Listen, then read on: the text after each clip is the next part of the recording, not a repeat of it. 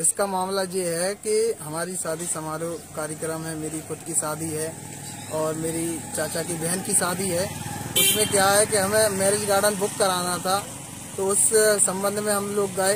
लेकिन सभी marriage garden वालों ने हमें जाति की भावना से मतलब गाली, उनने कहा कि तुम लोग अछूत हो, बेहतर हो, इस कारण तुम लोगों को हम मैरिज गार्डन नहीं दे सकते। आपने कितने मैरिज गार्डन वालों को संपर्क किया?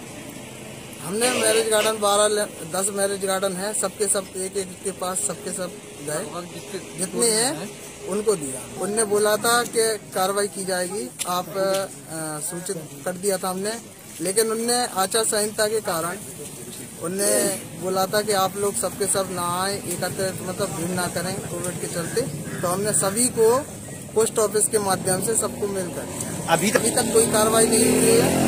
कोई किसी प्रकार की कार्रवाई नहीं एक धर्म परिवर्तन के बारे में लिखा है कि हम अगर इस प्रकार का भेदभाव हुआ तो हम 200 लोगों के साथ धर्म परिवर्तन कर लेंगे। क्या ये क्या कुछ मामला है? ये बिल्कुल सही मामला है। इस प्रकार से अगर किसी प्रकार से कार्रवाई नहीं करी गई तो शादी के उपरांत हम सभी लोग धर्म परिवर्तन कर देंगे। सर एक मामला है। या पिछोर में एक घाबरी परिवार के लोग हैं और उनको मैरिज गार्डन देने से मना कर दिया है शादी के लिए।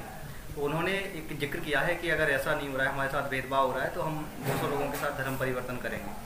तो ये क्या कुछ मामला है? सर संज्ञान में आप? ये मामले के संबंध में एक शिकायती पत्र मुझे प्राप्त हुआ है।